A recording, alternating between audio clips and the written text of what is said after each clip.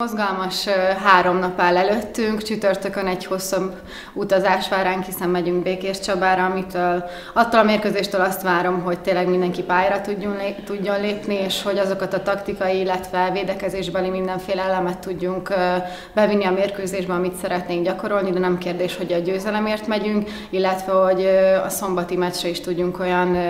erőket tartalékolni, amiket hasznosítani tudunk szombaton, hiszen az is egy kemény mérkőzés lesz a Debrecen ellen. Ha minden igaz, akkor már pályára léphetek, és ott lehetek a többiek, és tudok segíteni a csapatnak, úgyhogy már nagyon várom.